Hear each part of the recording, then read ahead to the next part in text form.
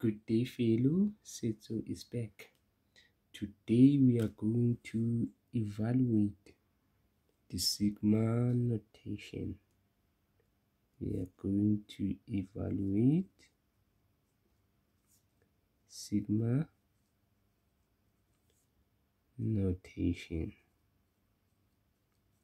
See, going to evaluate the sigma notation. It's so simple, don't worry. Suppose if I were to give you this sigma notation of 20 somewhere here, and it's quite 2. Let's say if somewhere here have 2, n plus 1, see? Then I ask you to evaluate the following given sigma notation. How are you going to do that? Check so simple. Firstly we need to figure out the number of terms. See? The number of terms. How?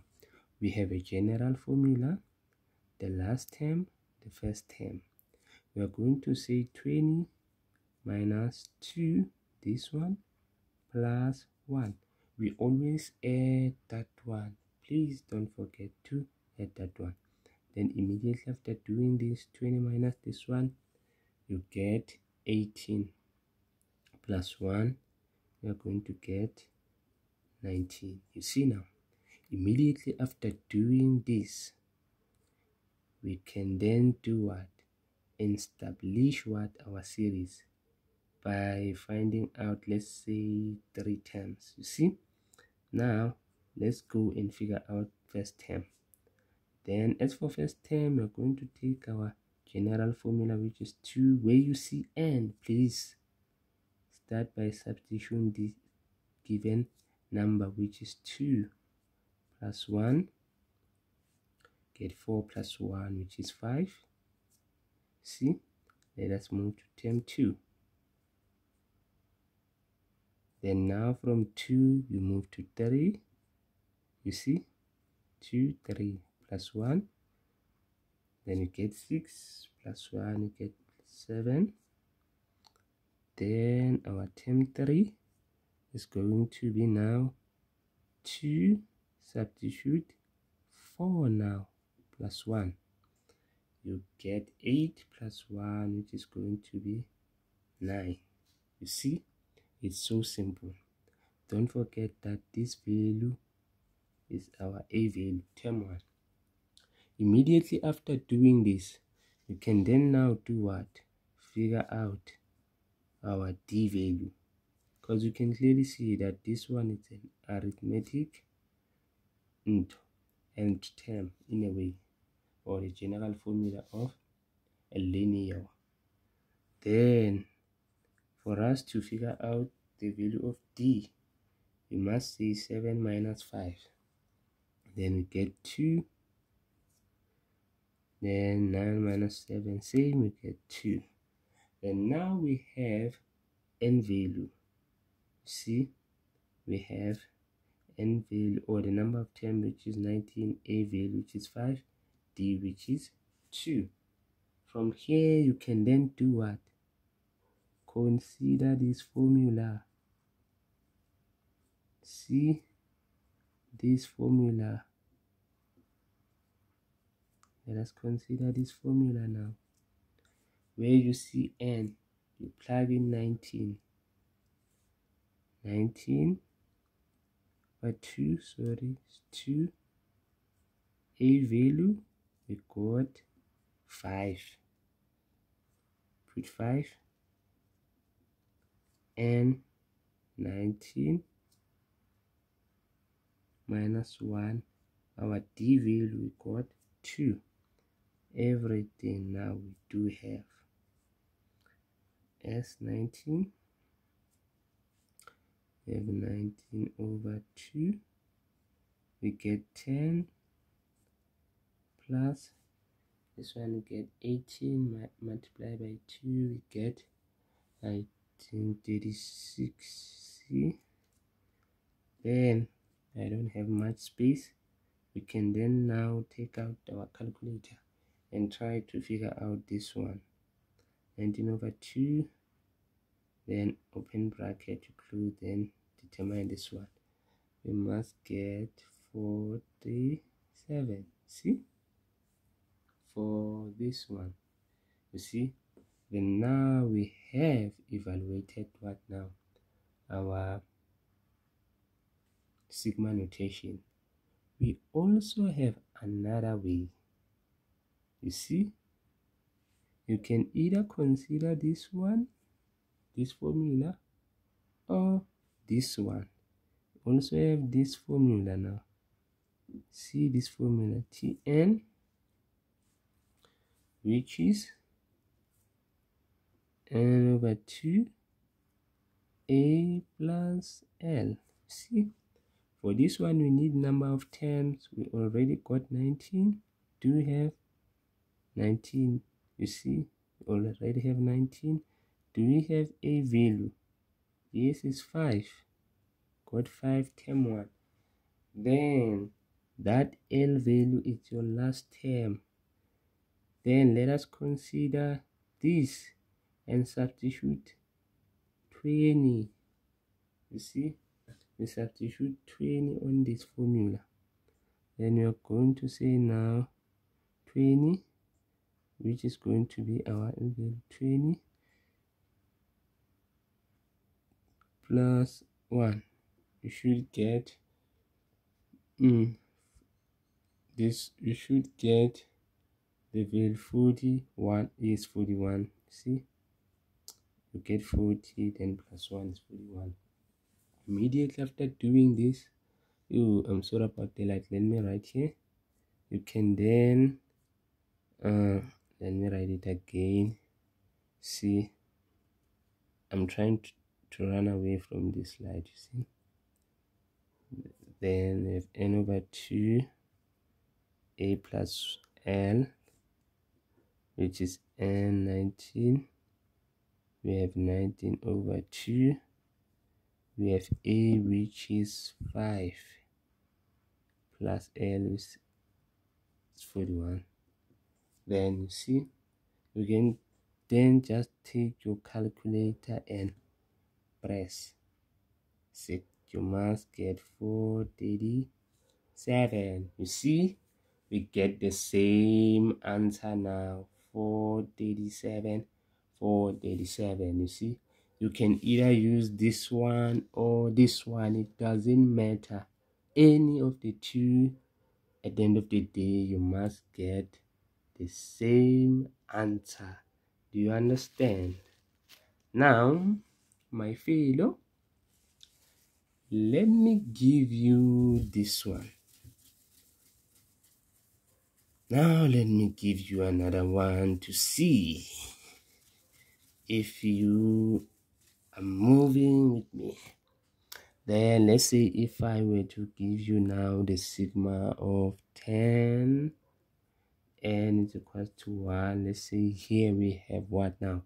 We have 1 over 2 n. See? Firstly number of terms. Number of terms. Number of terms. Number of terms we say 10 minus this one plus 1 don't forget that one. Don't forget that one eh?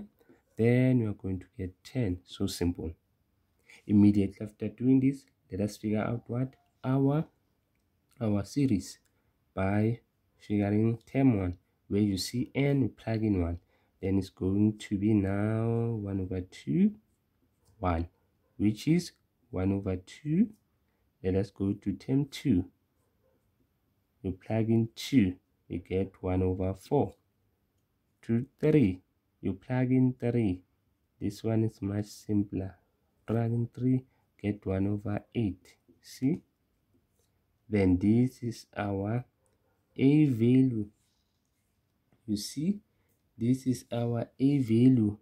Then for us to figure out the value of r we are going to say for us to figure out the value of r we are going to say now uh, 1 over 4 divided by half we should get 1 over 2 same. If you take this one 1 over 8 divided by 1 over 4 you should get 1 over 2 which is your r value. You see we have r value we have sorry we have a value we have r value. We also have number of terms which is 10 then do we know the formula to calculate the sum of the geometric? Yes we do. This one see 1 minus rn 1 minus r. You see for how many terms 10 we got 10 a value which is 1 over 2 1 minus r value which is 1 over 2 10 over there then divided by 1 minus 1 over 2 you see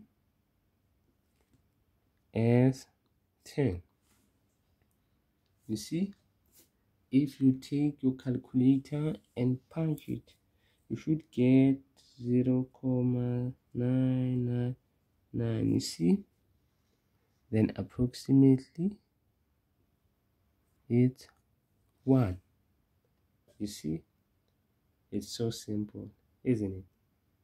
You just need to figure out your r value your a value and the number of terms.